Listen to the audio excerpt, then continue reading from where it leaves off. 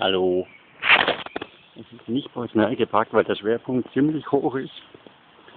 Ansonsten haben wir immerhin noch ein bisschen Treibstoff ganz unten.